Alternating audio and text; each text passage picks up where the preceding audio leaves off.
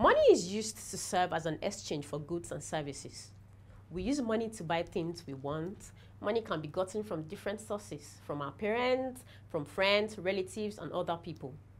To know how much money we spend, we can compare what we have to what we have received. In businesses, transactions are carried out using money. The business owner buys goods with money and the customers pay for the goods they buy with money too. The business can record all cash transactions in the single column cash book. Cash sales, cash purchases, and other cash receipts, and payments are recorded in the single column cash book. The single column cash book has a debit side and a credit side. Both sides have four columns. The date column shows the date of the transaction.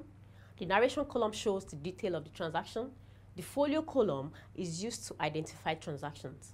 And the amount column shows the amount paid or received for the transaction.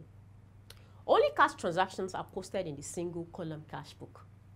The single column cash book is used to record all the cash received and spent in a business. You can track your spending too by recording all the money you receive and all the money you spend. I hope you had fun. See you in my next class.